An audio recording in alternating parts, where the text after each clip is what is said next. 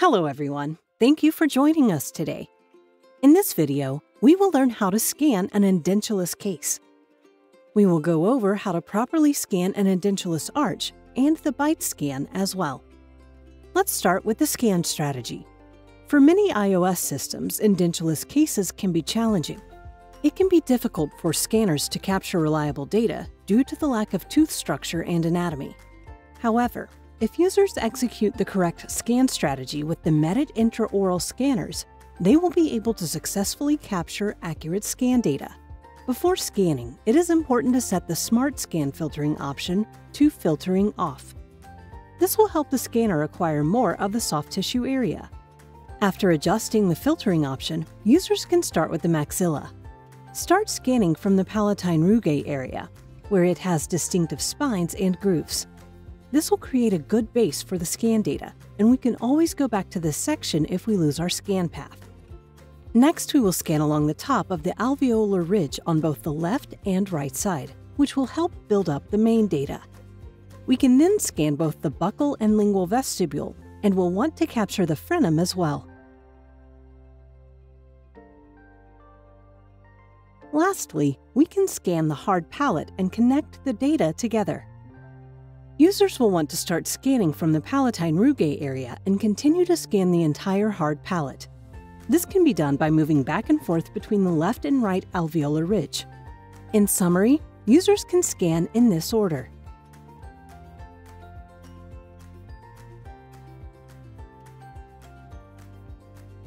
Now let's scan an actual edentulous case together. Start scanning from the palatine rugae area. Scan along the top of the alveolar ridge on both the left and right side.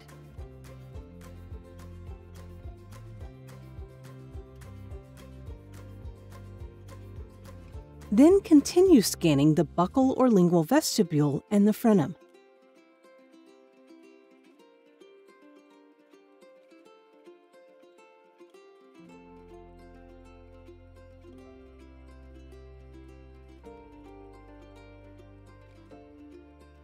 And finally, connect the data by scanning the hard palate.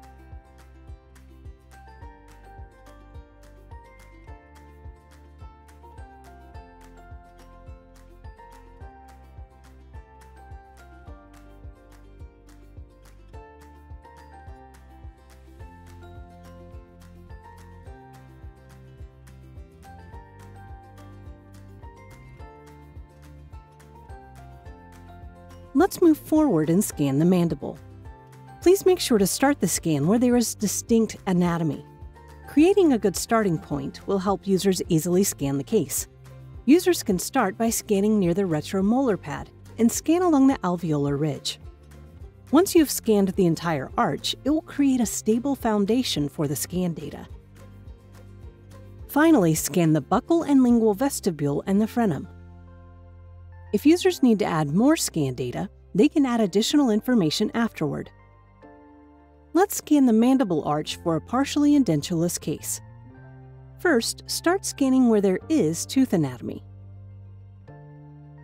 Then create the base structure by scanning along the alveolar ridge up until the opposing retromolar pad.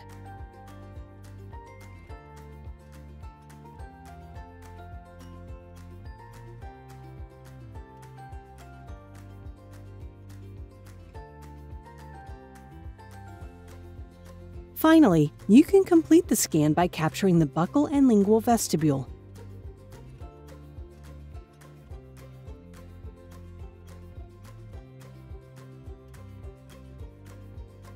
If the scanner loses its path while scanning, bring the scanner back to a distinct reference point, such as the palatine rugae area or the retromolar pad. If you are having issues scanning a specific area, click the Optimize button. The software will delete unwanted noise and help align the scan data. Now let's take a look at how to obtain the occlusion data for an edentulous case. The software normally uses the buccal anatomy to register the bite. Since edentulous cases lack buccal anatomy, users can register the bite in a different way. Users can capture the occlusion data by using a wax rim or a temporary. Let's first take a look at how to obtain the bite using a wax rim. Users will want to check the occlusal dimensions and the volume of the lips. Next would be to scan the occlusal with the wax rim placed in the patient's mouth. Users must also physically mark the wax rim to distinguish between the upper and lower jaw. This can be done with a pencil or resin. Select a full denture in the form. This way you'll have scan stages for both edentulous jaws and both dentures. First, scan the edentulous maxilla of the patient. In case the scanning has cut off, users must return to areas with distinct anatomy on the already scanned data to create a good starting point, and then rescan to connect the new data. If you try to rescan continuously from where the scanning was cut off, it will be hard for the scanner to pick up new data.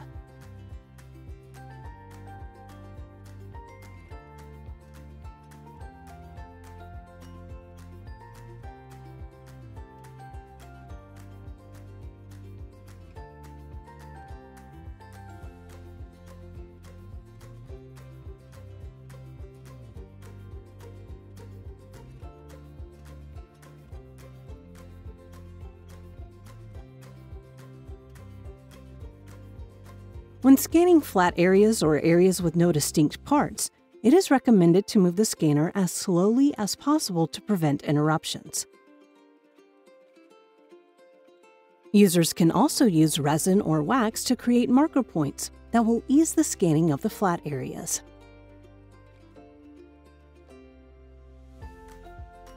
Next is the maxillary denture scan stage. In this denture stage, we will scan the wax rim. The edentulous maxilla scan data will be duplicated into this stage. Start scanning the wax rim from the impression surface. The program will automatically align the wax rim data with the data of the edentulous scan.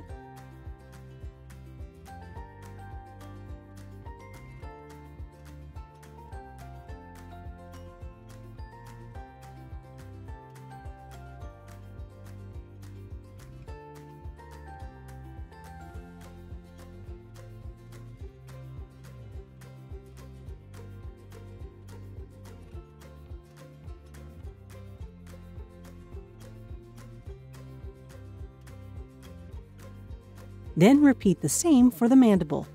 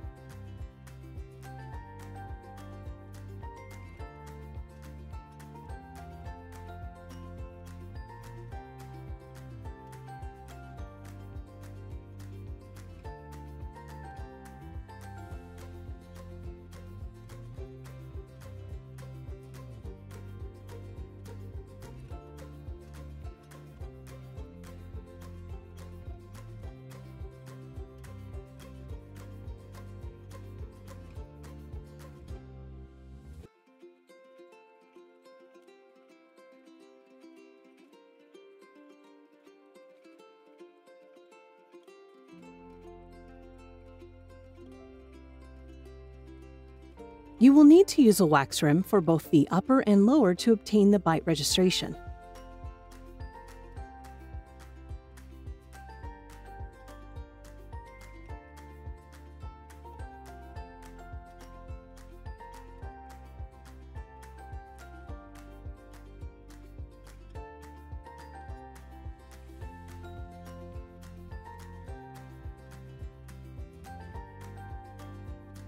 Here's how users can capture the bite with a temporary denture.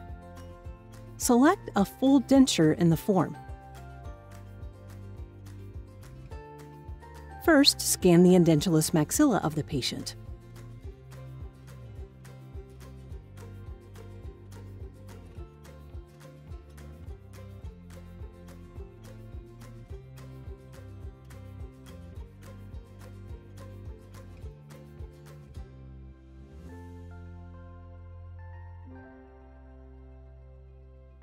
Next is the maxillary denture scan stage. Start scanning the denture from the impression surface. the program will automatically align the denture data with the data of the edentulous scan.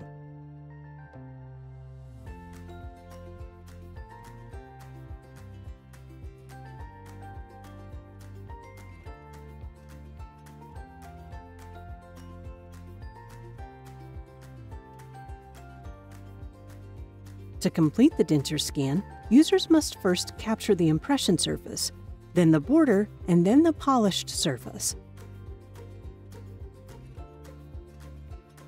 If the denture is too shiny, you can use spray to ease the scanning process.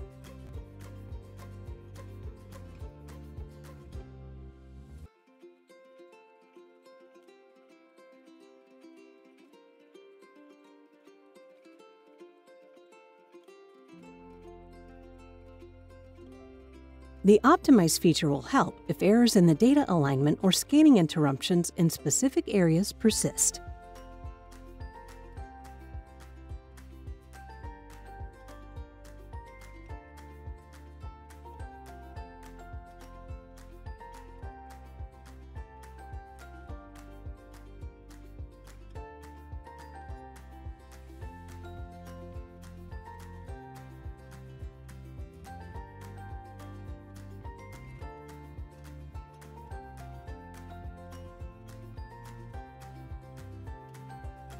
Then repeat the same for the mandible.